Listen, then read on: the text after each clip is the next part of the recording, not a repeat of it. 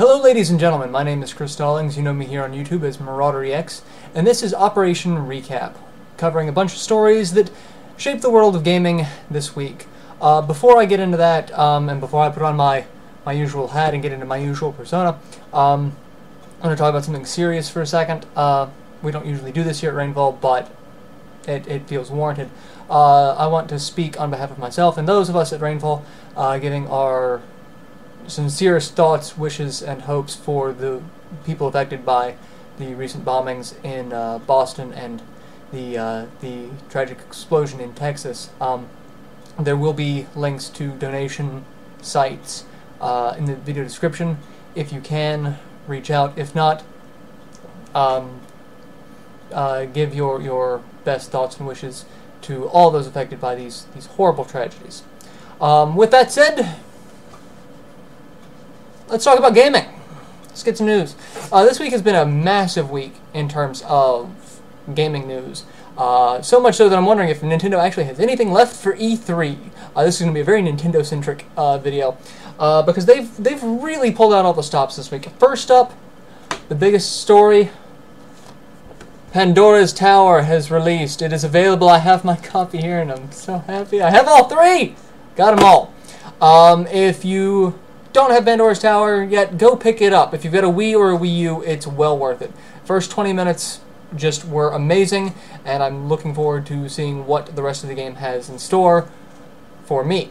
Um, localized by Xseed Games, really uh, go check them out. Uh, they did uh, Last Story as well. G give them as much support as you can because they are bringing over some really, really quality titles. Uh, next up, with more actual news, uh, Wii U uh, has its virtual console. Uh, they finally established the virtual console announcement. Nintendo Direct this week uh, sent out a ton of information. Uh, they're starting off with a huge list of titles for the Wii U. Balloon Fight, Donkey Kong Jr., Super Mario Bros. 2, F-Zero, Mario Brothers Arcade, Kirby's Adventure, Ice Climbers, uh, Super Mario World, Punch Out, Kirby's Dream Course, uh, Yoshi, Mega Man, uh, Kirby's Dream Land 3, Wrecking Crew, Excitebike, Kirby Superstar, Yoshi's Cookie, Super Metroid, and several others. Uh, the flagship title that they are also bringing out that's going to be on the Virtual Console is Earthbound, the game that no one thought was actually going to come out. They announced will be coming out on Virtual Console. Earthbound will be released that's a huge deal. Uh, I never thought it would happen. I really didn't. Uh, it was always one of those games that always seemed like a pipe dream. Of it just it seems like it's it's just too far out of reach to warrant it ever being a possibility. And then Nintendo just like, hey, we're doing it. Give us your money. Um, which is a great stance that Nintendo's taking because I will give them all of my money. Uh, for games like this. Um, I've always wanted a copy of Earthbound, but it always comes in such a ridiculous price for buying the the cartridge because it's not a very rare game, but it is a game that once you have, you really don't want to let go.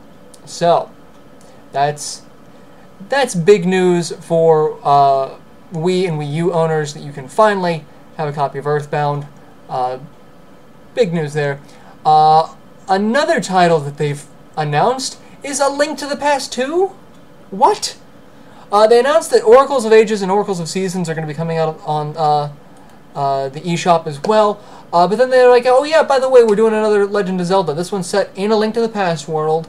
It's for the 3DS. It uses various 3D mechanics that are going to be ridiculous. The art style looks amazing. The puzzles involve multi-layers taking advantage of the 3D effect.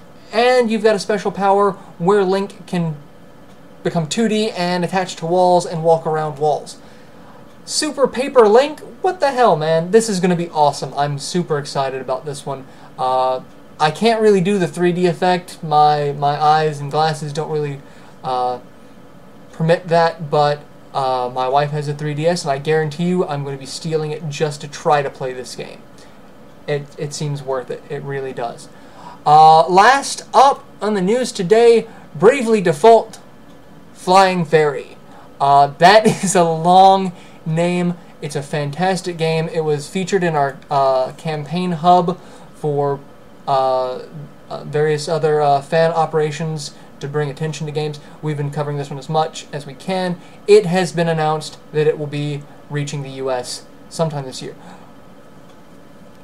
Nintendo, leave some stuff for E3, or better, don't pull out all the stops for E3 and just make me die of a heart attack because that's what I'm really expecting to happen the C3. If this is what Nintendo is just showing off as a Nintendo Direct, as a hey, we're just throwing stuff out there, I'm really excited for what they're going to throw out at E3. Uh, as long as they're not burning out way too soon, E3 is going to be amazing between Nintendo throwing out a bunch of games that's just going to make me throw money at my uh, my computer screen. Sony and Microsoft announcing new consoles. This is going to be a killer E3 year. I'm so looking forward to it. Um, so that's all the stories that I'm going to talk about today. Uh, it's been a long week, lots of stuff. Um, check out all of the, the links to uh, the articles and stories down below. Uh, and stay tuned to Operation Rainfall for all of your gaming news, reviews, and previews. And I will catch you guys later. Till then, later everyone.